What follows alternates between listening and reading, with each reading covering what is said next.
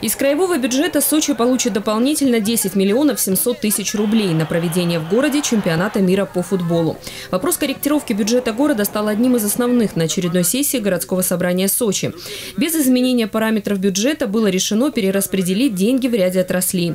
Так депутаты сегодня проголосовали за выделение 71 миллиона рублей сочинскому ПТП. Они будут потрачены в том числе на расчет за приобретенную во время подготовки к Олимпиаде технику.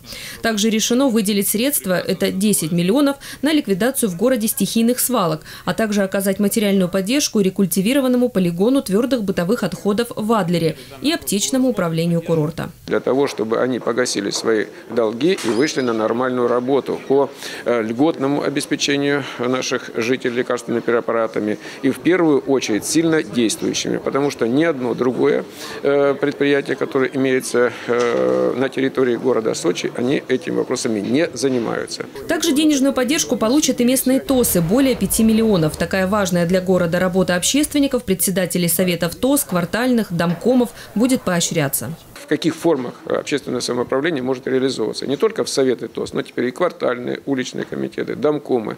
То есть это официально теперь у нас такой статус они будут носить. И, соответственно, э, и внесены изменения в порядок их э, поощрения. Общественники помогают городу не только в его благоустройстве. Большое содействие они оказывают и полиции, отметил начальник сочинского УВД.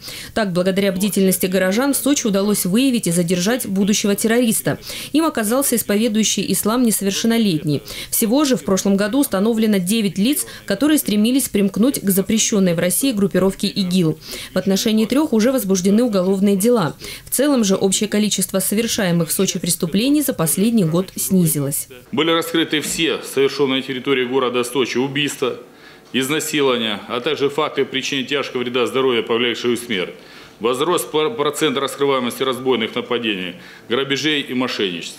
Раскрывать преступления полицейским активно помогает система «Безопасный город». В центре установлено более 3600 камер наблюдения. Следующим этапом должно стать оснащение такой же техникой улиц Красной Поляны и Лазаревского района Сочи.